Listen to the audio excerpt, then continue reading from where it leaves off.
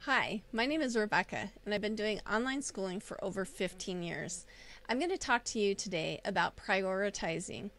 It is super important during a time that's stressful. You may have more kids home. You may have not expected this at all. But the, th- the thing that can help you is to really prioritize. Try to make your life as simple as possible. Sometimes I, I like the analogy of glass and rubber balls. Sometimes, if we think about all of the things that we are asked to do, that we're expected to do, that we want to do, we need to prioritize them by what can be dropped and what can, um, what can be dropped, what can bounce if it is dropped, or what will break. Sometimes we um, think too that as a parent, um, we have to do all of these things. When in actuality, if you really sit down and think about it, if you let this thing drop, is it going to bounce? Is it really going to make a difference?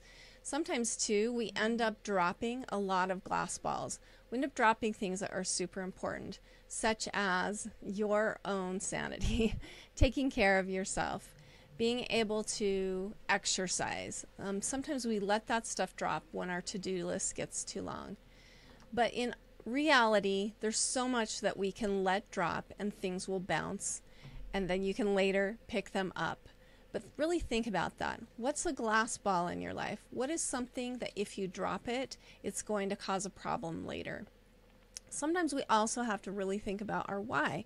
Why are we doing this? Is this something that really matters to me? Is this something that's going to make a difference in my family's life later on down the road? Is this something that is going to cause problems between me and my child?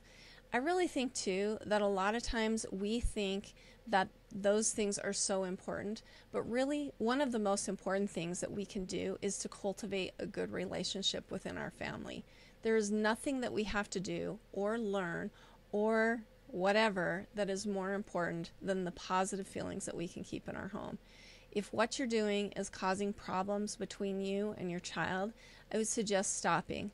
I would suggest trying to simplify it as much as possible and really weigh what's important by thinking about them in glass or rubber balls.